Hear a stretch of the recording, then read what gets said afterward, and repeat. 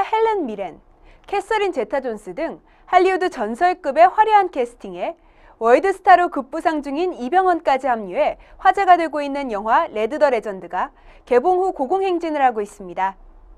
개봉 첫날 약 13만 명의 관객을 동원하며 국내 박스오피스 1위를 등극한 이후 나흘간 누적 관객 수 96만 5,076명을 기록하며 100만 관객 돌파를 눈앞에 두고 있는데요.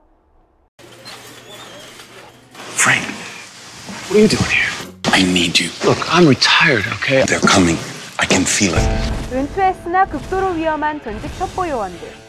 주류 레드인들이 힘을 모아 세상을 구한다는 첩보 코미디물인 레드는 해외 언론들은 평균 연령 63세인 노장들의 깨알 같은 연기에 찬사를 보내면서도 그들이 은퇴 상태로 있는 것이 더 좋지 않았을까?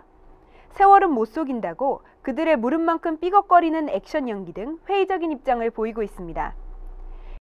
이런 반응에 미국 박스오피스에서는 개봉 첫 주 합산 5위에 그쳤습니다. Jung Hung Lee, he, he kicked my ass. He, he, he just beat me to a, a bloody pulp. What? Yeah. What is this guy's He's problem? the, he, he, he's the Frank Sinatra of Korea. Is he really? No, he is. He is Singing? a, he's an international superstar. He's a singer. He's a, he's an actor. Uh, he is a, uh, uh, a martial artist. 하지만 주인공인 브루스 윌리스가 인정했듯이 모든 분야에서 다재다능한 세계적인 액션 스타인 이병헌의 연기는 국내외로 극찬을 받고 있습니다.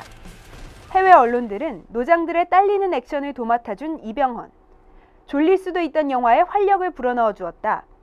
성룡급 액션을 선보였다는 등 이병헌이 영화의 감초 역할을 했음을 인정했는데요. 혹평에도 불구하고 승승장구 중인 레드 더 레전드. 이병헌 효과로 계속 1위를 유지할 수 있을까요? 이번 주 울버린과 8월 초 개봉 예정인 설국열차, 더 테러 라이브 등 대작들이 줄줄이 쏟아질 예정인 가운데 레드 더 레전드가 계속 성공 가도를 달릴 수 있을지 주목되고 있습니다.